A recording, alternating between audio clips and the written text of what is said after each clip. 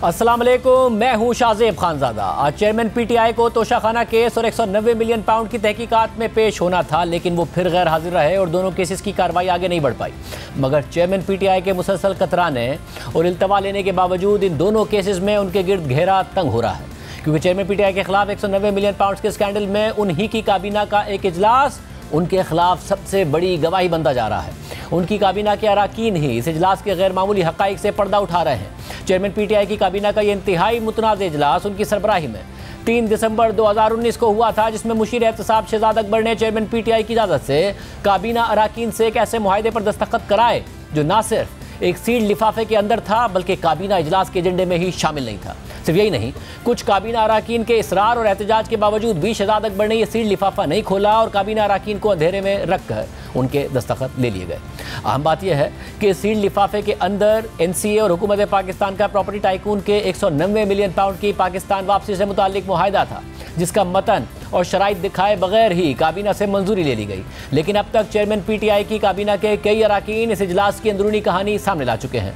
पहले शेख रशीद ने वफाकी वज़ीर होते हुए ये कह दिया कि वज़ीर आज़म यानी चेयरमैन पीटीआई ने इस पर बात करने से मना किया है। फिर फैसल लाउडा ने काबीना इजलास की पूरी कहानी बता दी, जिसके बाद फवाद चौधरी ने पीटीआई छोड़ने से पहले तहरीक इंसाफ का तर्जुमान होते हुए इस बात की तस्दीक कर दी। और अब जब परसों सबक मुशीर एहतसाब शहजाद अकबर ने फैसल बाउडा को झूठा करार देते हुए ये कहा कि काबीना में जिस नोट पर मंजूरी ली गई थी, उस पर साफ़ लिखा हुआ था कि माहिदा साथ मुंसलिक है बंद लिफाफे का सवाल ही नहीं पैदा होता। तो उसके बाद उस काबीना इजलास में शरीक एक और काबीना के रुकन, मलिक अमीन असलम ने शहजाद अकबर को झूठा करार देते हुए फैसल बाउडा के मौकफ की तायद कर दी। अहम बात यह है कि चार वजरा इस बात की तस्दीक कर चुके हैं कि उनसे सील लिफाफे पर उस वक्त के वज़ीर अजम और मुशीर एहतसाब ने दस्तखत कराए मगर अभी तक कोई एक वज़ीर ऐसा नहीं है, जिसने इस दावे की नफ़ी की हो। और चेयरमैन पीटीआई के और शहजाद अकबर के मौकफ को दुरुस्त कहा हो। हालाँकि उस वक्त की काबीना के मुतद अरकान अब भी तहरीक इंसाफ में हैं। कुछ गिरफ़्तार नहीं हैं और कुछ रूपोश हैं और मुसलसल सोशल मीडिया पर बयान जारी करते हैं या फिर मीडिया से बात करते हैं, मगर इस मामले पर खामोश हैं। जबकि आज हमने चेयरमैन पीटीआई की काबीना के मुतद अरकान को सवाल भेजे और उनसे पूछा कि क्या वो तस्दीक करते हैं कि तीन दिसंबर 2019 को होने वाले इजलास में उनसे एनसीए और हुकूमत पाकिस्तान की। 190 मिलियन पाउंड की डील से मुतालिक सीड लिफाफे पर बगैर माहे के मंदरजात दिखाए दस्तखत करने का कहा गया था। क्या आप इस हवाले से मजीद तफसीत शेयर कर सकते हैं? हमने ये सवाल शाह महमूद कुरैशी, असद उमर, परवेज खटक, अली जैदी, शिबली फराज उमर अयूब, शफकत महमूद हम्माद अजहर, गुलाम सरवर खान, नूरुल हक कादरी। तारिक बशीर चीमा, जुबैदा जलाल, एजाज शाह, फहमीदा मिर्ज़ा, खुसरो बख्तियार, फ़खर इमाम और नदीम अफजल चंद को भेजे।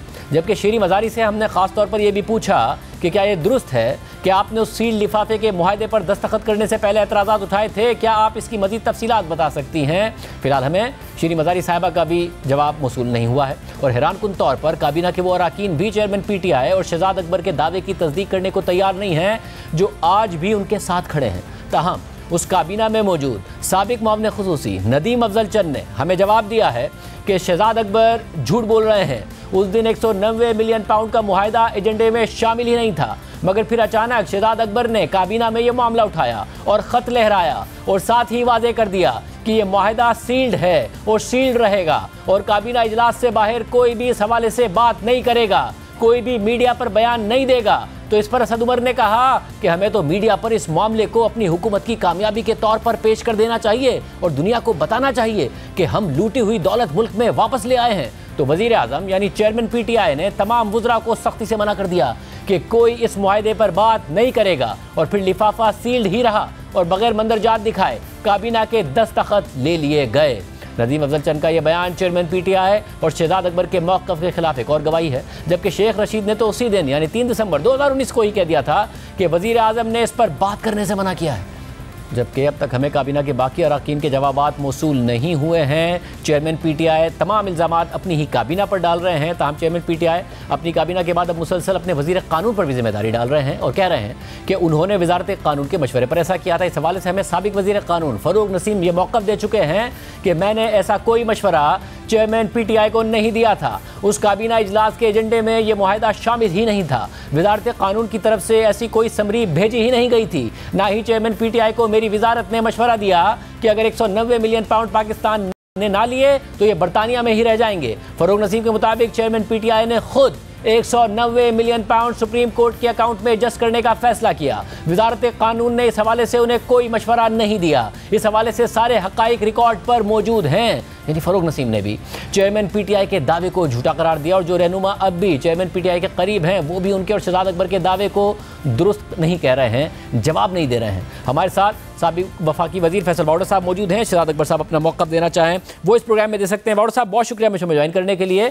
मलिक अमीर असलम साहब एक और बात कह रहे हैं कि ये जो इजलास हुआ, जिसमें सीट लिफाफे पर दस्तखत कराए गए, जिसकी तस्दीक नदीम अफजल चंद साहब भी कर रहे हैं, जो आपका दावा है, उससे पहले भी एक इजलास हुआ था, जिसमें यह फैसला किया गया था कि जी, ये काम अब ने करना ही करना है।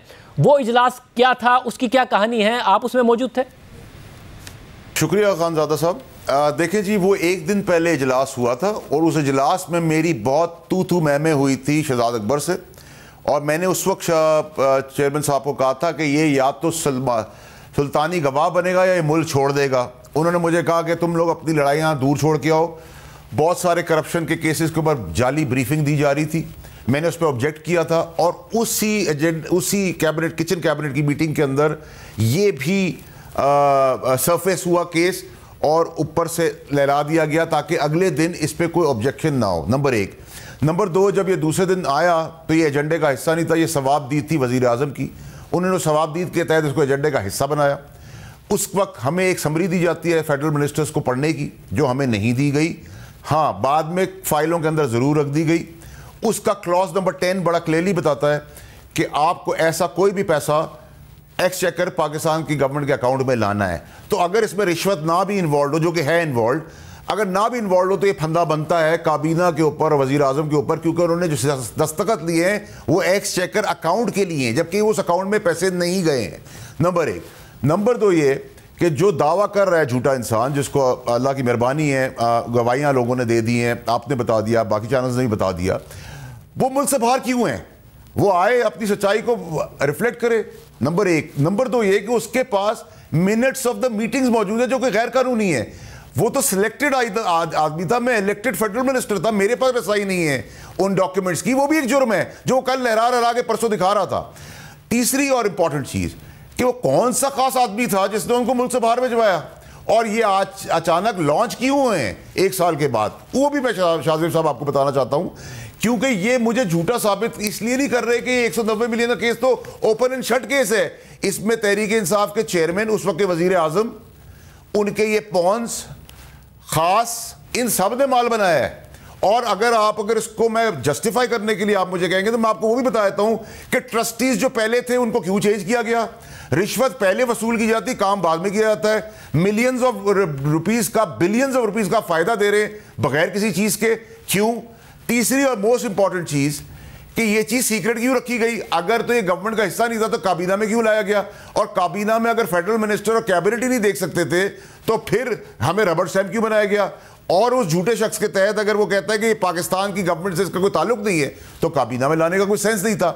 वो जो झूठा साबित करें वो इस पर साबित करना चाह रहे हैं। पहले से एक थीम बना रहे हैं, क्योंकि इससे ज़्यादा इंपॉर्टेंट चीज़ ये कि जो शहीद अरशद शरीफ का कत्ल हुआ है जो प्लैंड ब्रूटल मर्डर हुआ है, जिसकी प्लानिंग हुई है पाकिस्तान के अंदर, जिसमें आम, खास पॉपुलर प्यारा, लाडला जो छुपा हुआ है लैपटॉप छुपाने वाला और बैरून मुल्क भागने वाला और अरशद शरीफ जिस दिन दुबई से निकाले जा रहे थे, उस दिन ये झूठा शख्स दुबई में मौजूद था और मीटिंग्स कोऑर्डिनेट कर रहा था। आप मेरी इस खबर को गलत साबित कर दे मैं शहजाद अकबर साहब शहजाद अकबर साहब अगर प्रोग्राम ज्वाइन करना चाहें तो कर सकते हैं। ज़ाहिर है एक बहुत ही अफसोसनाक वाक्य अरशद शरीफ साहब का। उसमें इल्ज़ाम हैं वो इल्ज़ाम ही हैं। हम उम्मीद करते हैं कि जो ट्रांसपेरेंट तहकीकात है उस मामले की हो और उनकी जो फैमिली है उसको इंसाफ मिले। मगर बाउड साहब आपने जो मुझे एक दिन पहले की किचन कैबिनेट है जिसमें आप भी मौजूद थे अब ज़ाहिर है उसका इजलास तो और उसमें ये मामला की मर्ज़ी के बगैर तो नहीं रखा जा सकता था क्योंकि ख़ास वजरा वही शरीक होंगे जो उनकी मर्ज़ी के होंगे, जिसमें आप कह रहे हैं कि आपकी और शहजाद अकबर साहब की तू तू मैं हुई और ने इंटरवीन करके कहा कि जी, आप अपने मामला जो है वो तय करें। तो ये इसी मकसद के लिए था और उस वक्त उनका अपना क्या मौक़ था? आपका देखिए शाहजेब साहब, जो, वो जो किचन कैबिनेट थी, वो स्पेसिफिकली इस एजेंडे के लिए नहीं थी। उसमें बड़ी प्लानिंग के तहत पहले सारे करप्शन की ब्रीफिंग दी गई। जो कि झूठ पे मबनी थी, सजाओं की बातें की गई कि नून लीग के फलाने फलाने को सजा हो रही, जिस पे मैंने काउंटर आर्ग्यूमेंट किया कि ये झूठा है, ये सुल्तानी गवाह बनेगा या मुल्क छोड़ के चला जाएगा। उस पर इसने मुझे कहा कि तुम मेरी वजारत दे दो, मैंने कहा, शुक्रिया, मुझे ज़रूरत नहीं कहा, आप जाके अपने बाहर मसले हल करें, काबी तो इस सरसरी तौर पे इसलिए घुमाया गया था, क्योंकि अगले दिन इसने आना था। तो इसमें अगर आप मुझसे ये पूछें कि वज़ीर आज़म का इंटरेस्ट नहीं था, बिल्कुल था। वज़ीर आज़म के साथ इन लोगों का इंटरेस्ट था हंड्रेड परसेंट था। जो खास था, उसने बाकी वजीरों को फ़ोन किया था कि इस एजेंडे में चुपती रहना। मैं आपको अपनी सच्चाई के एक और वाक्य बता देता हूँ। आप एक और एजेंडा निकालें, जिसमें जिस टाइम पे गवर्नमेंट ऑफ़ पाकिस्तान के पास रोटी खाने को पैसे नहीं थे, उस खास का, एक चकवाल का, सुई गैस का एजेंडा आया। तीस सेकंड में पास हुआ, वहाँ गैस लग गई। मैं गलत हूँ तो शाहजे साहब जैसा ये तो अब तो आपने काफ़ी डायरेक्ट कर दी बात कि उस खास ने इस 190 मिलियन पाउंड मुहिदे के लिए भी खामोश रहने के लिए भी उसी ने ये सारी की सारी बहुत ज़्यादा तगुदो की थी वज़ी अजम के साथ साथ और साथ में फिर उसका चकवाल का एजेंडा भी था चकवाल से तो जनरल फैज साहब हैं आप उनकी बात कर रहे हैं? देखिए शाहजेब साहब चकवाल का एजेंडा इससे बहुत पहले आया था। इसी तरीके से एक इलेक्ट्रिक गाड़ियों का भी एजेंडा एक एसआरओ निकाला गया इस गवर्नमेंट में। उसकी कॉपी मैं आपको भेज देता हूँ। अगर आप चाहें तो मैं भी भेज सकता हूँ आपको। वो एक ही एक ही कंपनी को नवाजने के लिए अरबों रुपए की एसआरओ निकाली गई। उस पर भी ऑब्जेक्शन रेज हुआ है। तो अगर आप करप्शन की दास्तान, नून लीग की और पीपल्स पार्टी की बात करते हैं तो हम भी करप्शन में कहीं पीछे नहीं रहे हैं। और तीसरी और मोस्ट इंपॉर्टेंट बात कि देखिए जी, अगर आप ये कि बरी जिम्मा है चेयरमैन साहब या वज़ीर आज़म साहब नहीं अच्छा जब आप कहते हैं कि वो बड़ी जिम्मा नहीं है आप एक दफ़ा पहले भी कह चुके हैं कि कारोबारी आदमी कोई भी जो फ़ायदा लेता है वो ऐसे नहीं लेता वो बदले में कुछ देता भी है। आप कहते हैं आप खुद कारोबारी हैं तो ये ये हो नहीं सकता कि उसने ऐसे ही एक सौ नब्बे मिलियन पाउंड का फ़ायदा ले लिया हो। मगर जो चेयरमैन पीटीआई हैं उनका बार बार ये कहना है कि भाई मुझे क्या ज़ाती फ़ायदा हुआ है? ये तो एक ट्रस्ट है उस ट्रस्ट से एक यूनिवर्सिटी बननी है उसके लिए मैंने ज़मीन ले ली करोड़ों रुपये ज़ाहिर है उसके अलावा फंडिंग भी ली गई और कहा कि मैं तो चाह रहा था कि कोई ये बना दे वो बड़ा तेज़ी से काम करते हैं पाकिस्तान के सबसे तेज़ बिल्डर हैं और उन्होंने कहा कि मैं सारा का सारा ही मैं टेक ओवर कर लेता हूँ, सभी मैं बना देता हूँ। तो उन्होंने बना दिया। मेरा क्या जाती फ़ायदा हुआ है सारे के सारे मामले में? शाहजेब साहब, देखिए, जिस शख्सियत की आप बात कर रहे हैं, मैं उनकी खुद बहुत कदर करता हूँ कि वो अपने काम में बहुत माहिर हैं। और सारे कारोबारी पाकिस्तान में मुझ समेत अपना हज़ार रुपए वसूल करने के लिए सौ रुपए खुशी खुशी दे देते हैं। ठीक है जी पाकिस्तान का नॉम है। कोई रॉकेट साइंस नहीं है सर इसके अंदर। लेकिन उस ट्रस्टी को ट्रस्टी चेंज क्यों किया गया? अगर सब कुछ ब्लैक एंड व्हाइट था वो पहले क्यों दी गई? ये इतना बड़ा इतना बड़ा अमाउंट आपने क्यों दे दिया?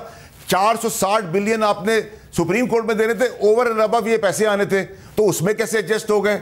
सर ये तो नहीं हो सकता ना। इतना बेवकूफ़ तो कोई भी नहीं हो सकता। या आँख से अंधा हो सकता है या अकल से पैदल हो सकता है कान से बहरा हो सकता है। अगर वो तीन चीज़ें मौजूद थी तो उस आदमी को हुक्मरानी करने का वैसे भी कोई हक नहीं होना चाहिए। तो तो खुद समझ पा रहा। तो खुद दावा करते हैं कि वो फाइलों को पहिए लगाते हैं। आप कह रहे हैं ये फ़ौरन काबीना में आना, बगैर एजेंडे के आना, उसके बाद काबीना के अरकान को कहना कि इस पर जाके बाहर भी नहीं बात करनी और आप ये लिफाफा देख भी नहीं सकते हैं। आपने इस पर खामोशी से दस्तखत करनी है, बाद में भी खामोश रहना है। ये असल में वो पहिए थे जो लगाए गए थे। देखिए शाहजी साहब, को अब इसमें जिम्मेदार इसलिए ना बनाए कि 22 करोड़ पाकिस्तानी पान का खोखा जो चलाता है, उसको भी पाकिस्तान के अंदर सिस्टम से चलना पड़ता है। इसलिए मैं उनको नहीं कैटेगरी ज़रूर, कानूनी तौर पे ये ज़रूर डिबेटेबल सब्जेक्ट है कि पाकिस्तान का ये नॉम है। नंबर एक। नंबर दो ये, कि आप इसी को फर्दर आगे ले जाएँ। तो मुझे आप ये बता दें सर कि वो जो चीफ को हटाया डीजीआईएसआई को हटाया था, वहाँ भी करप्शन के सबूत थे वीडियोस थी और ऑडियोस थी। फिर आप आ जाएँ और आगे, कि अगर साइफर झूठा साइफर दिखाया और वो बिक गया तो पहले अमेरिका ने हमें निकाला, फिर अमेरिका ठीक हो गया। फिर बाजवा साहब ने हमें उतारा फिर बाजवा साहब को कहा छह महीने की एक्सटेंशन दे दो। फिर बाजवा साहब उतना बुरा आदमी था उसको कहा एक्सटेंशन के साथ हमें इलेक्शन भी करवा दो। तो भाई एक आदमी बुरा है एक आदमी अच्छा है। आप चोरी कर रहे हैं आप नेकी कर रहे हैं। ये सब आगे पीछे मिक्सअप कैसे हो रही चीज़ें? देखिए साहब अगर हम नून लीग को रगड़ते थे पीपल्स पार्टी को रगड़ते थे तो सर हमने तो ये सियासत ना की थी ना करने आए थे ना सोचा था और हमें तो निकाला भी इन्हीं सब बातों के ऊपर गया। हम तो ना कत्ल के फेवर में थे ना कत्लो गारत के फेवर में थे। क्या आप पाकिस्तान की किस्मत पाकिस्तान की आवाम पाकिस्तान के सपोर्टर पाकिस्तान के वोटर पाकिस्तान की तकदीर पाकिस्तान की इकोनॉमी के लिए धरने कर रहे थे? ऐसा मगर जो जो गिराया वो किस लिए किया आपने? जो के बयान में तजाद है वो अपनी जगह पर है जो भी आपने मौकफ बताए ज़ाहिर है अमेरिका की कॉन्स्परेसी से लेकर आज तक के जो मामला हैं। मगर नदीम अफजल चंद साहब कह रहे हैं वहाँ पर असद उमर साहब ने यह कहा अचानक कि हम खामोश क्यों रहे? हमें तो अवाम के सामने एक बयानिया बनाना चाहिए कि हम लूटी दौलत वापस लाएँ फिर भी ने कहा कि नहीं जी हमें इस मामले पर खामोश रहना है कोई बाहर जाके कोई बात नहीं करेगा। क्या ये भी हुआ था और एक दिन पहले जो किचन कैबिनेट का इजलास था उसमें थे वो? हाँ जी। जिस इंसान की आप बात कर रहे हैं वो सांप पहले विकेट के दो तरफ़ खेलता था इस बार भी चारों तरफ़ खेला पकड़ा गया एक्सपोज हो गया। ये बात 100 परसेंट ऐसी हुई है जैसे आपने बताई है। और मैं आपको अभी आपके प्रोड्यूसर को एक एसआरओ दे रहा हूँ। आप अगले इन्वेस्टिगेशन में बताना कि एक कंपनी को पूरे पाकिस्तान में इलेक्ट्रिक कार्स के लिए एक कंपनी को अरबों रुपए का फ़ायदा दिया, उसके तहत एसआरओ बनाया गया, जो उस पर ही फिट होता था। और उसकी फिटिंग से पहले ही एलसीज और बैंक लिमिट्स खुल चुकी थी। मुझे रॉकेट साइंस नहीं चाहिए सर आप लोग इन्वेस्टिगेटिव जर्नलिस्ट थे।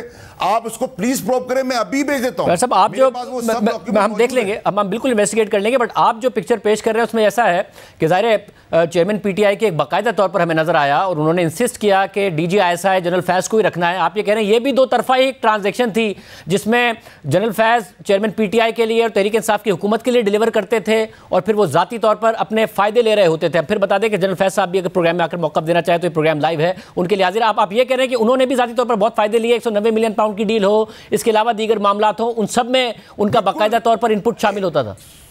शाजिब साहब इसमें कोई रॉकेट साइंस की ज़रूरत नहीं, आप मेरे साथ चलें सर। मैं आपको उनकी जगहों पे ले जाता हूँ। अभी से अंदरून मुल्क की बात कर रहा हूँ। आप वहाँ चल के देख लें और आप एसेट बियॉन्ड मींस का आपको जवाब मिल जाएगा। सौ रुपए इनकम थी बत्तीस साल से, एक सौ करोड़ रुपए के एसेट्स हैं। तो मनसलवा तो उतरा नहीं था। तो उसमें आपको रॉकेट साइंस की ज़रूरत नहीं और रिश्वत का पे ऑर्डर नहीं होता और कत्ल की वीडियो नहीं होती। तो सब बच्चे तो हैं नहीं। करने वाले जब बनेंगे तो अड़तालीस घंटे में सब कुछ दूध का दूध, पानी का पानी हो जाएगा।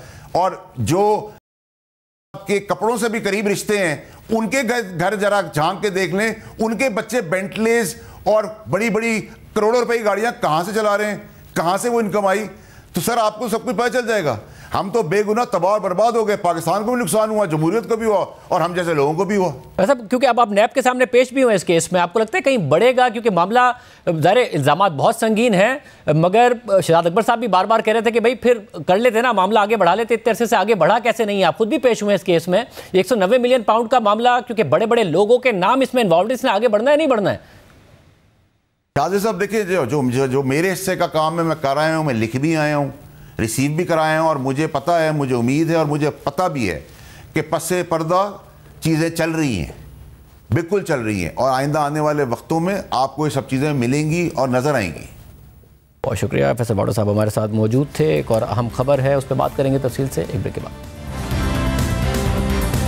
कल रात आईएमएफ बोर्ड ने पाकिस्तान के तीन अरब डॉलर्स कर्ज प्रोग्राम की मंजूरी दी और आज पाकिस्तान को आईएमएफ से इस प्रोग्राम की एक अशारिया दो अरब डॉलर्स की पहली किस्त मौसू भी हो गई है।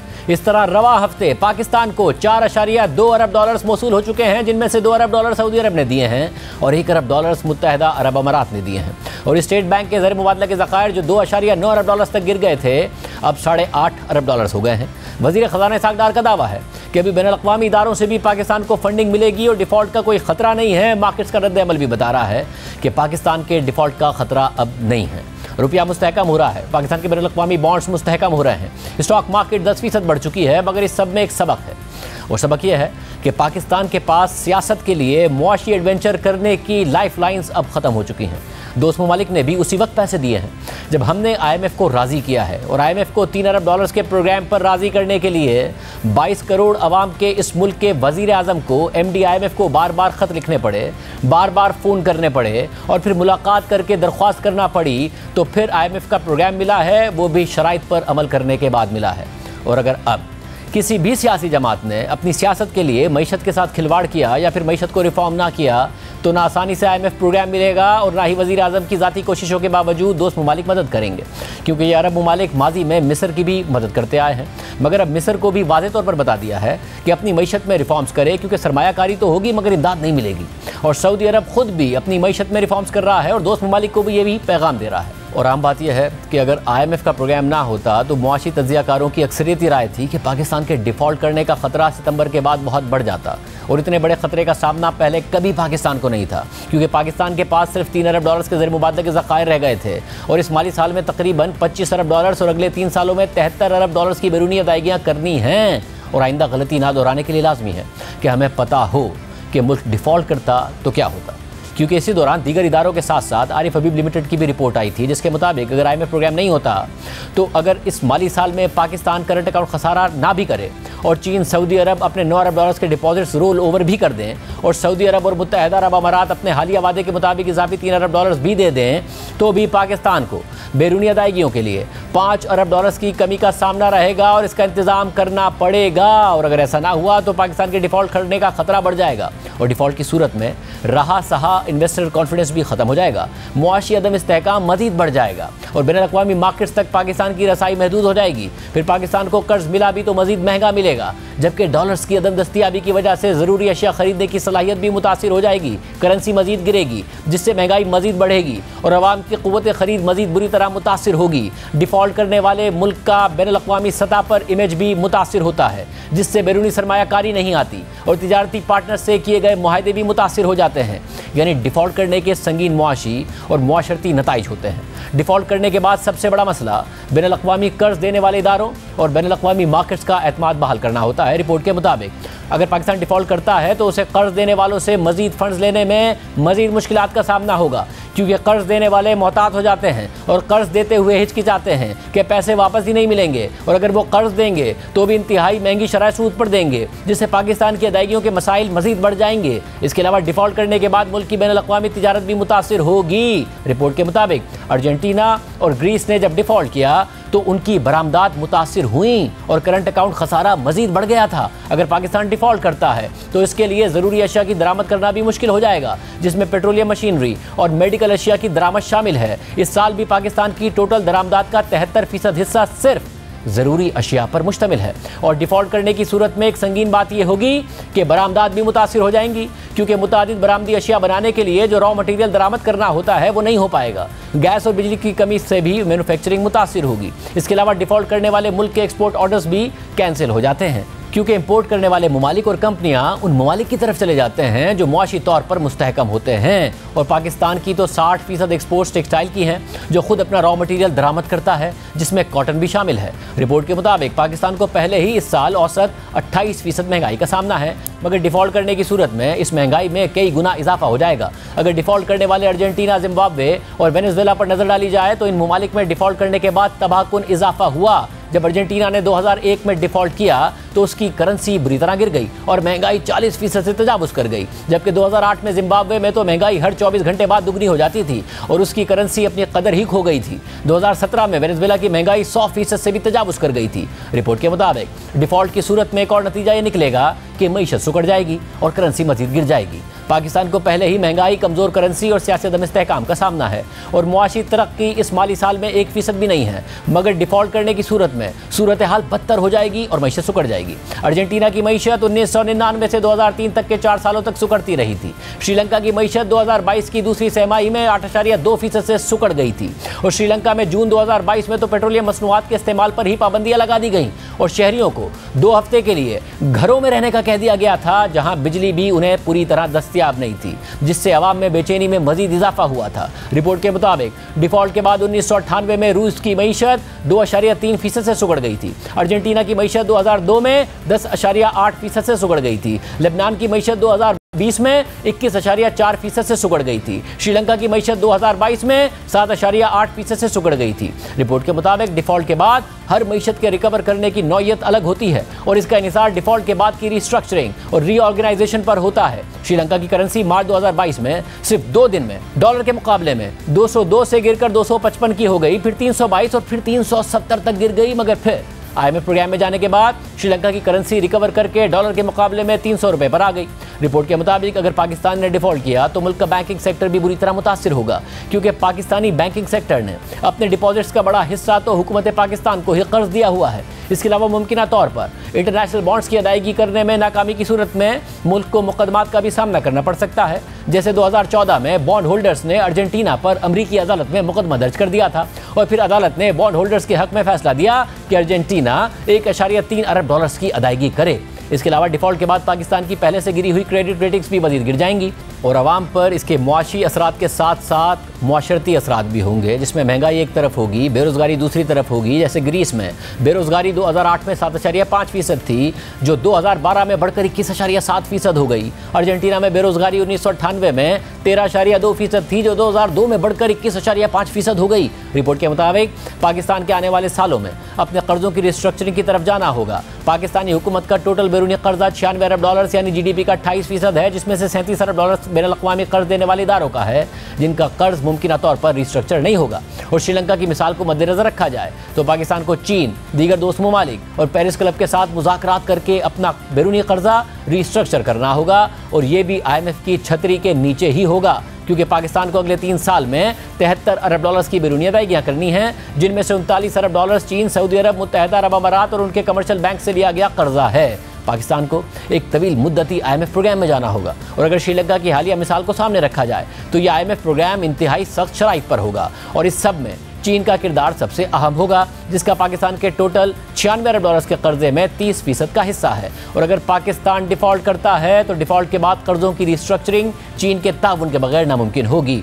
और अगर पाकिस्तान डिफ़ॉल्ट करता तो वैसे भी, अगले प्रोग्राम से पहले चीन और दीगर ममालिक की तरफ़ से कर्जों की रिस्ट्रक्चरिंग बुनियादी शर्त होती। श्रीलंका की सूरत में भी आईएमएफ ने कर्ज से पहले ये बुनियादी शर्त रखी थी कि पहले चीन अपना कर्ज रिस्ट्रक्चर करे और फिर चीन ने कमिटमेंट दी और इंडिया और जापान ने भी कमिटमेंट दी तो आईएमएफ ने इंतहाई सख्त शराइ के साथ श्रीलंका को तीन अरब डॉलर्स का बेल आउट पैकेज दिया है और श्रीलंका को छः माह के अंदर अंदर अगले रिव्यू से पहले अपने कर्जों की रिस्ट्रक्चरिंग करनी है। श्रीलंका के direct taxes total taxes collection Sri Lanka के indirect taxes total tax collection का अस्सी फ़ीसद है, जो गरीब आदमी को ज़्यादा मुतासर करते हैं, क्योंकि वो भी इतना ही टैक्स देने पर मजबूर होता है, जितना ज़्यादा आमदनी वाले अफराद देते हैं श्रीलंका को फौरी तौर पर। इनडायरेक्ट टैक्सेस की आमदनी पर फौरी टैक्स लगाना होगा, ताकि डायरेक्ट टैक्सेस में इजाफा हो। हुकूमत को अपने खर्चों को आबंदी के मुताबिक ही रखना होगा, ताकि बजट खसारा ना हो और उसके नतीजे में करंट अकाउंट खसारा ना हो। करप्शन की रोकथाम के लिए स्ट्रक्चरल रिफॉर्म्स करना होंगे। श्रीलंका को अपना पूरा गवर्नेंस सिस्टम ही रिफॉर्म करना होगा। श्रीलंका का कर्जा जीडीपी का एक फ़ीसद है,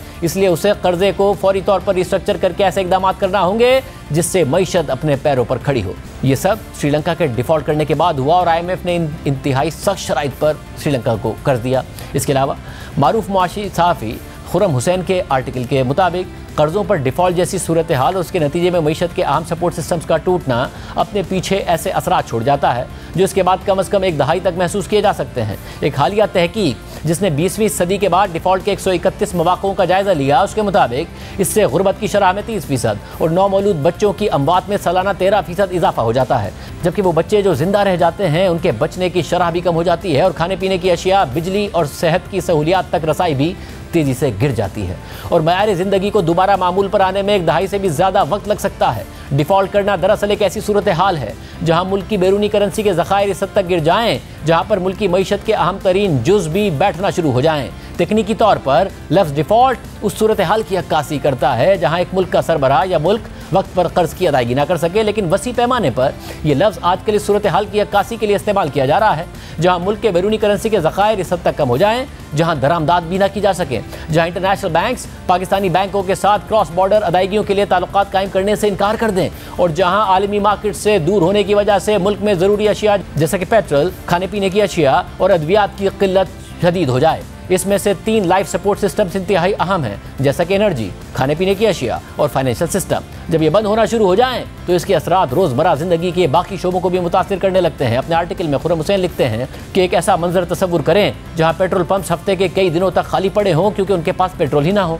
बिजली दिन के सिर्फ़ चंद घंटे मैसर हो। खाने पीने की अशिया की कमी हो और उनकी कीमतें कई गुना बढ़कर आसमान को छू रही हों तो आपको अंदाज़ा होगा कि बैलेंस ऑफ़ पेमेंट का क्राइसिस, या जिसे हम आम जबान में डिफ़ॉल्ट कहते हैं, वो कैसा लगता है। और इस हवाले से उन्होंने अपने आर्टिकल में श्रीलंका और लेबनान की मिसाल दी है, जहाँ लोग घंटों पेट्रोल की लाइनों में लगे रहते और बिजली एक लग्जरी बन गई थी। और पाकिस्तान ऐसी सूरत हाल से बच गया है क्योंकि डिफ़ॉल्ट का ख़तरा ख़त्म हो गया है, क्योंकि आईएमएफ का प्रोग्राम बहाल हो गया है और ये पाकिस्तान का चौबीसवां प्रोग्राम है और आईएमएफ ने वाजे कर दिया है कि पाकिस्तान को फ़िज़िकल डिसिप्लिन लाना होगा, टैक्स रिफॉर्म्स करना होंगे, करेंसी मार्केट में मुदाखलत नहीं करना होगी और एनर्जी सेक्टर में रिफॉर्म करके गर्दिशी कर्ज़ों का मसला हल करना होगा।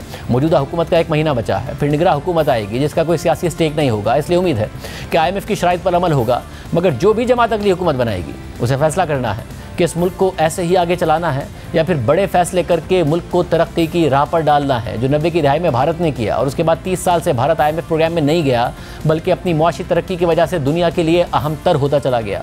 आज हम एक एक अरब डॉलर्स के लिए दोस्त ममालिक का शुक्रिया अदा कर रहे हैं, मिन्नतें कर रहे हैं तो दूसरी तरफ़ भारत के 600 अरब डॉलर्स के ज़खायर हैं। हम एक एक अरब डॉलर्स का कर्जा ले रहे हैं और भारतीय हुकूमत अरबों डॉलर्स की सरमायाकारी भी ला रही है और अपनी बरामदात भी बढ़ा रही है। यहाँ तक कि बांग्लादेश ने भी अगले माली साल के लिए बहत्तर अरब डॉलर्स का एक्सपोर्ट्स का टारगेट रखा है, जिसमें बासठ अरब डॉलर्स अशिया की बरामद करने का टारगेट है।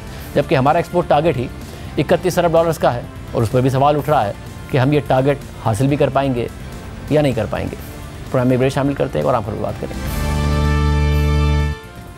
सुप्रीम कोर्ट अगले हफ़्ते दो अहम केसेस की समाप्त करने जा रही है और आज ये दोनों केसेस अगले हफ़्ते की समाप्त के लिए मुकर कर दिए गए हैं। 18 जुलाई को सिविलियंस के मिलिट्री ट्रायल के खिलाफ दरख्वास्तों पर अहम समाप्त होगी, जबकि 21 जुलाई को supreme court practice and procedure act के खिलाफ दरख्वास्तों की समाप्त होगी। ये दोनों ही केसेस तनाज़ात में घिरे हुए हैं, क्योंकि नामजद chief justice justice Qazi Faez वाजे कर चुके हैं कि जब तक मौजूदा चीफ जस्टिस की सरबराही में आठ रुकनी bench practice and procedure act case का फैसला नहीं कर देता, तब तक वो कोई केस नहीं सुनेंगे, जबकि जस्टिस काजी फाइसा के बाद सीनियर जज जस्टिस सरदार तारिक मसूद भी कह चुके हैं कि वो आर्टिकल एक तीन के तहत बनने वाले बेंचेस का हिस्सा नहीं बनेंगे और ये मौकफ इन दोनों जजेस और सीनियर जजेस ने सिविलियंस के मिलिट्री ट्रायल से मुतालिक दरख्वास्तों की इब्तदाई समात में ही इख्तियार किया था और कहा था कि वो बेंच से उठ रहे हैं, मगर केस सुनने से इनकार नहीं कर रहे हैं, लेकिन इसके बावजूद अगली समातों में चीफ जस्टिस ने दोनों जजेस को बेंच में शामिल नहीं किया और नौ रुकनी बेंच को तब्दील करके सात रुकनी कर दिया।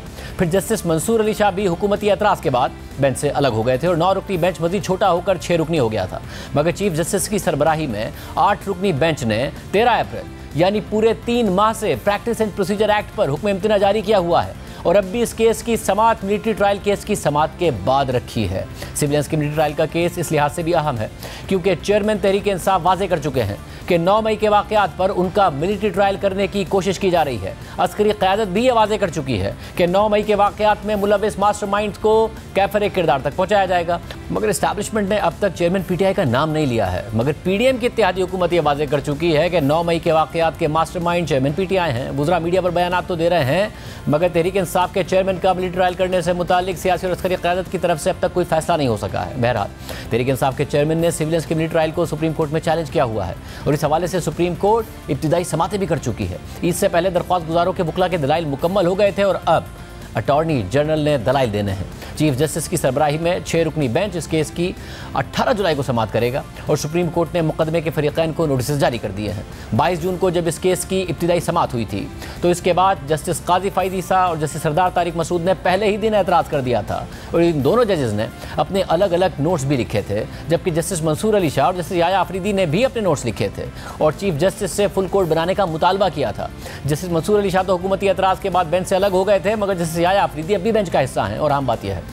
कि इस केस की आखिरी समात के बाद ये नोट्स सामने आए थे। इसलिए आइंदा समात अहम हो गई है। साथ ही अगले हफ़्ते इक्कीस जुलाई को सुप्रीम कोर्ट का आठ रुकनी larger bench practice and procedure act के खिलाफ दरख्वास्तों की समात भी करेगा और जैसे काजी फाइजा और सरदार तारिक मसूद का एतराज़ है कि चीफ जस्टिस इन दरख्वास्तों पर जल्द से जल्द फैसला करें। इस मामले पर स्टे ऑर्डर नहीं दिया जा सकता, लेकिन चीफ जस्टिस ने अब भी इस केस की समात फौजी अदालतों से मुतल केस की समात के बाद ही रखी है। इरादी अल्लाह हाफिज़।